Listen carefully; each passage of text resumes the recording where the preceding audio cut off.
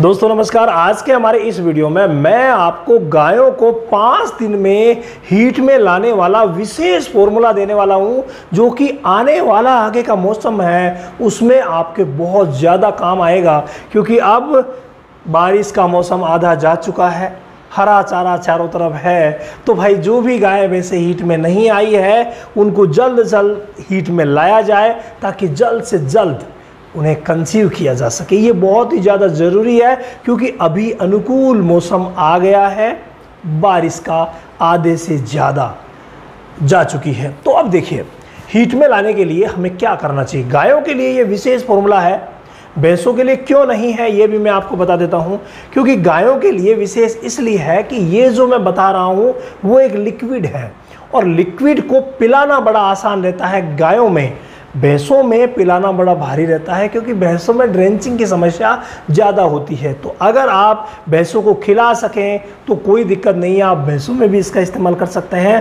बाकी गायों के लिए ये फॉर्मूला विशेष रहेगा। और वो फॉर्मूला क्या है? आप यहाँ पर पैनल पर देख पा रहे हैं, टेबल पे पड़े हैं छुहारे। छुहारों से कौन परिचित नहीं है? सभी परिचित है। आप सभी जानते हैं छुहारा आपको इजीली नज़दीक में जो किराना स्टोर की दुकान है, वहाँ पर मिल जाएगा। छुहारे के कम से कम हम आठ से दस पीस लेते हैं। कितने लेते हैं? आठ से दस पीस छुहारे के हम लेते हैं और इनमें से बीज को अलग कर देते हैं, क्योंकि बीज डाइजेस्ट नहीं होता है। बीज को अलग करके और इन्हें कूट लिया जाता है, हल्का कूट लिया जाता है। मतलब एक छुहारे के कम से कम 15-20 पीस कर दिए जाते हैं। इस तरीके से हल्का कूटा जाता है। कूटने के बाद जो काम करना है, सबसे प्रमुख काम वही है।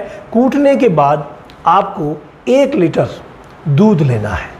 और उस एक लीटर दूध में, देखिए, दूध भी अगर गाय के लिए भैंस का लें और भैंस के लिए गाय का लें तो बहुत ही अच्छा रहेगा। उस एक लीटर दूध में दो लीटर आपको पानी डालना है और गर्म करने के लिए रख देना है। साथ में दो चीज़ें मिलानी पड़ेगी। एक तो है ये छुहारे ये उसमें मिला दीजिए। इसके अलावा 50 ग्राम हल्दी आप उसमें मिलाइए।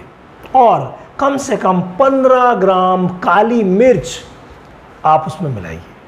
हल्दी मिलाएँगे, काली मिर्च मिलाएँगे, काली मिर्च को पीस लीजिए, हल्दी को भी पीस लीजिए। दोनों को जो गर्म हो रहा है उसी में डाल दीजिए।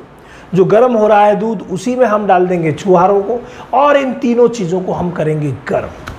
बढ़िया तरीके से गर्म करेंगे और गर्म करने के बाद इतना गर्म करेंगे कि जो दो गुना हमने पानी डाला था ना, वो पानी छींच करके वापस वन थर्ड हो जाए। यानी ये जो मिक्सअप है, फिर से एक लीटर हो जाएगा। हमने दो लीटर पानी एक्स्ट्रा डाला, लेकिन वो पानी गर्म होते होते छिच जाना चाहिए और फिर उसे नीचे उतार दीजिए। नीचे उतार करके और आप डायरेक्ट भी पिला सकते हैं तो छान करके भी पिला सकते हैं। दोनों ही विधि से पिलाया जा सकता है। इसके अलावा हम चाहते हैं कि ये जो इनके टुकड़े हैं, वो भी पशु के शरीर में जाए तो और अच्छा वर्क करेंगे। तो उसके लिए एक छोटा सा प्रबंध आप ये भी कर सकते हैं कि जिस समय इनकी आप कुटाई पिसाई करते हैं तो थोड़ा सा और ज़्यादा पीस लीजिए।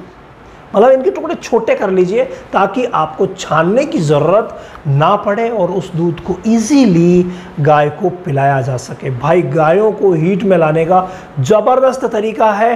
पाँच दिन इसी प्रक्रिया को करना है।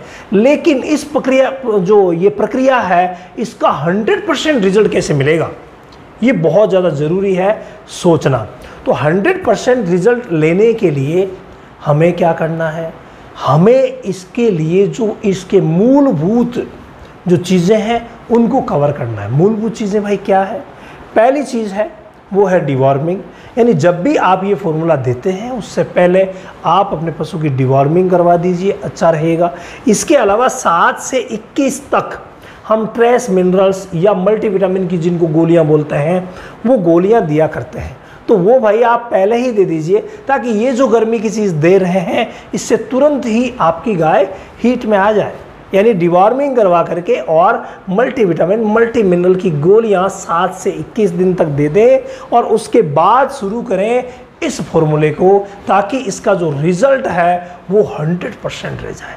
मात्र पाँच दिन देने से ही आपकी गाय हीट में आ जाएगी और बहुत ही सस्ता तरीका है। इसमें कोई ज़्यादा खर्चा नहीं लगने वाला है। मात्र पाँच, दस, पंद्रह, बीस रुपये में ही आप अपनी गाय को हीट में ला सकते हैं और बिल्कुल कंसीव करा देंगे तो वो ग्याबिन भी ठहर जाएगी, कंसीव हो जाएगी जब भी आप क्रॉस करवाएँगे।